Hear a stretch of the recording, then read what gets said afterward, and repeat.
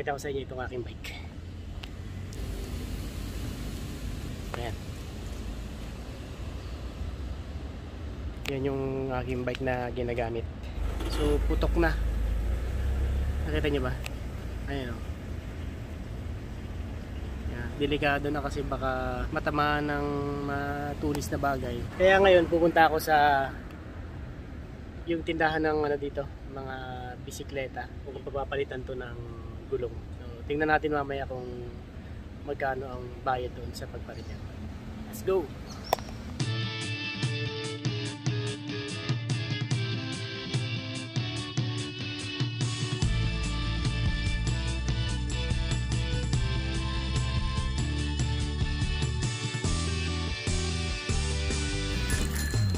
Dito na lang ako dadaan mga kapisbam sa tabi.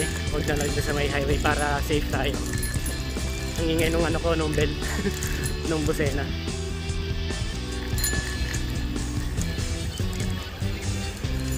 Hindi ko alam mga kapisbam kung bukas ngayon yung Decathlon.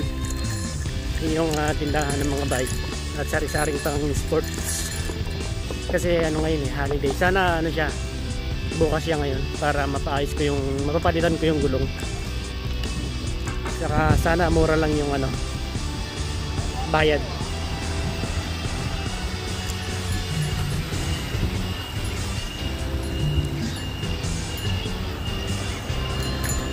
mga kapisbang tingnan na itong hotel na to Kingdom Hotel siguro maganda ang loob niyan akala pa lang kasi Kingdom medyo naligaw ako hindi nalimutan ko yung uh, way papunta doon sa Decathlon.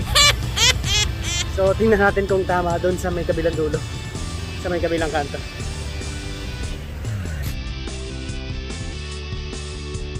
Sa tamang daan na tayo mga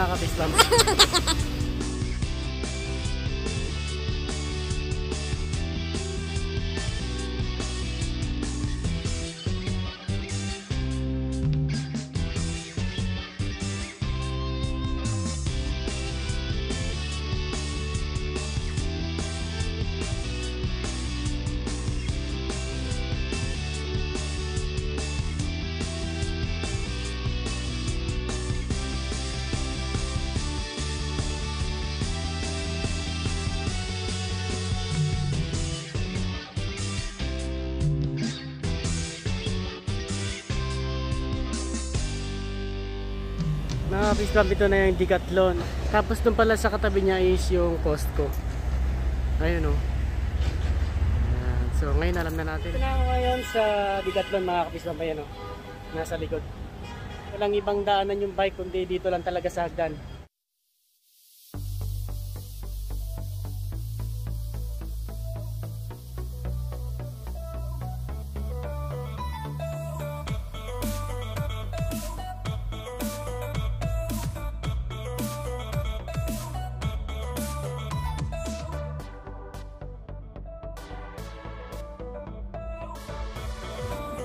Nakabisbab yung paggawa ng bike dito sa Decathlon. Pagpasok nyo ng entrance, dito lang ito sa may left side. So tanongin ko na ngayon kung magkano bayad. Yeah. Uh,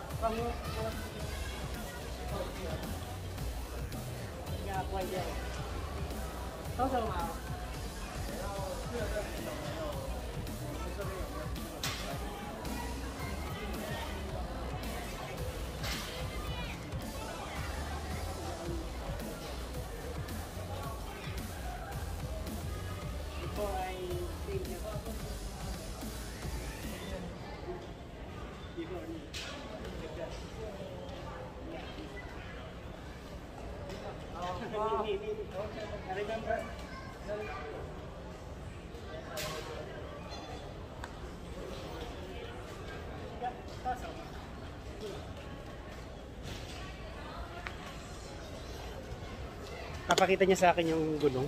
Hmm. 499. Wow. May yung... May yung... No, Yan mga kapisbang, 499 pala yung gulong dito. Ah, uh, itien tien tien, hayo ma? Itien tien. Payaw hanto siya. Hi sir. Sabi ko yung mura lang kasi ang mahal. 499. Naghahanap siya ngayon ng ah, mas mura.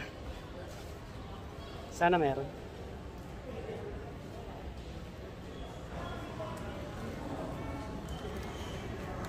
Tiga ka sa mga? Two.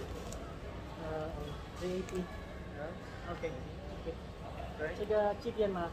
Wala. Uh,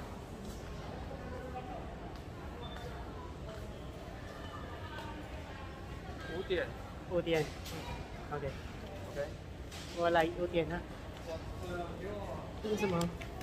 Your name? My name. Yes. And uh, one. Oh.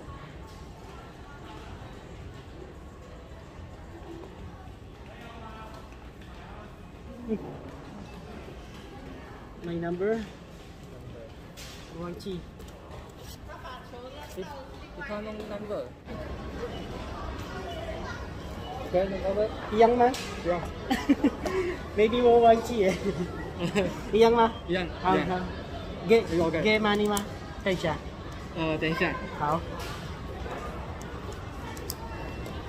，OK，五点， Utien. Yeah. Si Shani. 谢谢。 So, ngayon mga kapispam, ah, kailangan kong ibigay sa kanya yung mobile number na nakaregister dito sa Decathlon. At sabi niya is ah, 5pm matatapos yung aking ah, bisikleta. Ayun na, pinasok na sa loob. Next, so maglibot-libot muna tayo dito, baka meron tayong mabili. Ito na mga kapispam, yung mga bisikleta. Dito bumili ng bisikleta yung mga kasama ko sa trabaho. Napaka, yan o, oh, ganda oh. Pakita ko sa inyo yung mga price. Wala niyang price. Around 49,999. mga kapispam, yung isang bike na yon nasa 80,000 na yon sa pesos. Oh my god, yung bike ko na pinapagawa ngayon, alam niyo kung magkano ang price. 3,000 lang yun. Mga mura lang. Sa bagay, kung bike lover ka naman, talaga, wala lang sa iyo. Gusto mong bumili talaga ng magandang klase ng bike na pang rides. Ito yung isa, 32,499. Ayan. Madami.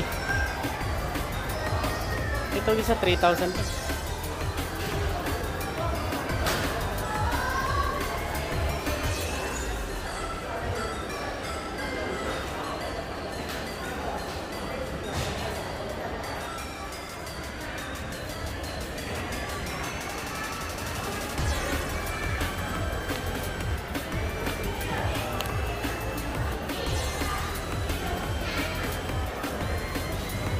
Ayan mga kapislam, ang presyuhan yan ay 19 18,900. Maganda.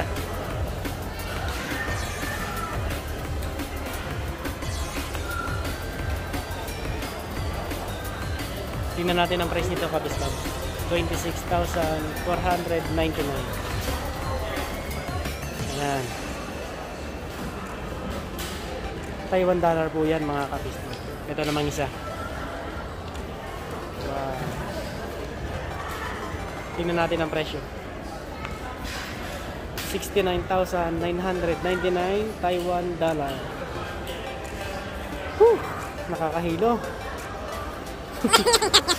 Napakasarap siguro gamitin yan. Ito pa isa mga kabisbam. Yan. Ah, Rock Rider ang brand niya. Ayan. Rock Rider. Tingnan natin ang presyo. Woo, ito na. 74,999 Taiwan dollar. Ay, nasa 100,000 na. Hindi natin kayang bumili ng ganyan kamahal na bike mga kapismam. Ito naman yung isa. Nahihilo na ako sa presyo. Tingnan natin ang price. 54,999 Taiwan dollar. OMG. So, ayan mga kapisbam, nakita niyo yung mga price ng bisikleta dito sa Decathlon. Meron din namang mga mura, yung mga tig 3,000, uh, 5,000, 8,000, 9,000. Parang katulad nung nabili kong bike dati, yung pinapagawa ko is ano lang yun, $3,000. Pero kabisbam, kahit ganun yung bisikleta ko, marami ng pinagdaanan yun. Nagamit ko na yun sa papuntang T-Farm. Nasa 25 kilometers yung T-Farm away from sa dormitory namin. At ayan, yung papakita ko yung pic- picture yan. At ang isa pa ng napuntahan namin ay nung pumunta kami ni na Joseph at ni Orly sa Decathlon, ah sorry, sa Yulaw Mountain. Yung Yulaw Mountain mas malayo yun na nasa 40 kilometers away sa aming dormitory. Parang ganun. So umalis kami noon dati sa sa dorm namin ay 6:20 ng umaga. Nakarating kami dun sa sa peak ng bundok ay ah, alas 3 ng hapon. So napakalayo. Pagbalik namin sa bahay, 6:20 pa rin ng hapon. So 12 hours kami nag-bike nung time na yun. Uh, hi nga pala kay Orly at saka kay Joseph at saka kay Glenn na nakasama ko noon sa pag-bike doon sa Yulaw Mountain. Bale, doon sa taas ko na yan, no? marami ng fog, ah, fog kasi nga mataas. So, sarap, sarap sa feeling. Kahit sobrang hirap, nakaakyat kami doon. Nakaikot na ako mga kabisbab. Nabutan ko, inaayos yun yung aking... ah, Eh, taga tata ma. Tata ma. Tata. 嘿，不一样。可以吗？可以啊，可以啊，不一样。没问题。 Nagawa na niya kaagad, sabi niya 5pm pa. Nakaikot ko na kasi mga kapisbam yung ah, area ng Decathlon. Ayan. So, bali yan, inaayos niya na yung gulong ng bike ko. Patapos na yata to.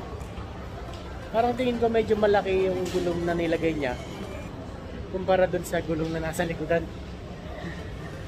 Wala yata siyang nakuha na halos kasi katulad ng size.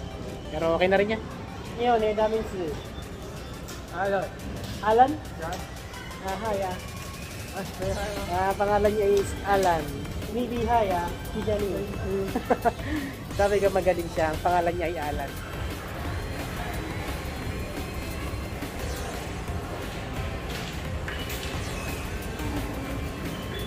Ayan, patapos na. Inaayos niya na yung preno.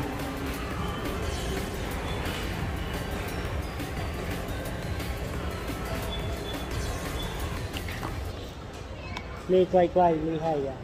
Thank you。Sabi niya is 5 p.m. pero natapos na kagad na 4 p.m. Bali dumating ako ay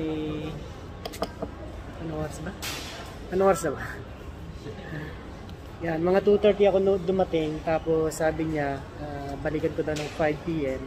Saka yung itong ah, gumawa, siya din yung gumawa dati kasi pinayos ko dito yung gan gumagano yung gulong niya sa likod.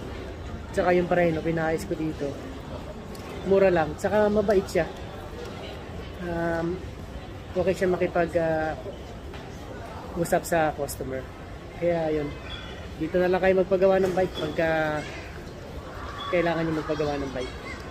Ngayon mga kapisbamba, ang kasunod dito is magbabayad na ako dun sa cashier. Bali, 525. Tosa mo? Siyempo ma, Tosa?